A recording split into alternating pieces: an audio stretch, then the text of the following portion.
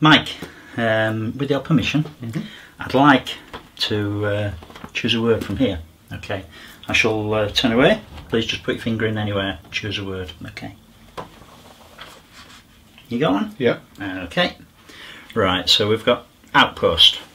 Okay. Yeah. The thing that interests me here, really, is that you've gone for the right hand side of the dictionary uh, and the second column, and indeed the first, second, third, fourth, fifth word down. Okay. Had you chosen that location anywhere else in the book, of course, you would have Different different, words. words. Okay, because that's how a dictionary works. Okay, so let's choose a random page. Okay. Look at that. Okay, and then if you just take the book, Mm-hmm.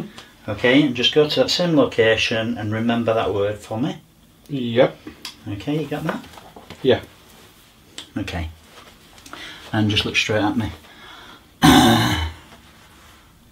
One, two, three, four, five, six, seven, nine, eight, ten. So it's a seven word, seven letter word that we're looking for. Yeah. okay.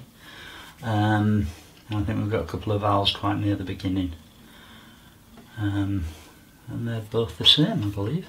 Yeah. Um, okay. Um, I'm going to ask you another question, Mike. Okay. Please just answer in your head, though. Okay. Say nothing out loud. Do you think that animals believe in God? Okay. Meeting. yeah. Yeah. okay. Um, sorry. What page number was that? I didn't really notice the page Okay. Um, right, meeting. Um, I've needed a word on that page before.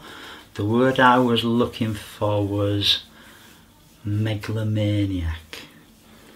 And it was page 167. Would you turn to page 167 for me?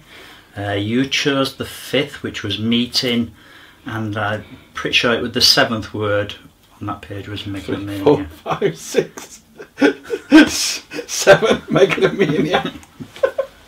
Yeah, thank No you very way. much. It's interesting to see how you think. Thank you very much. Okay.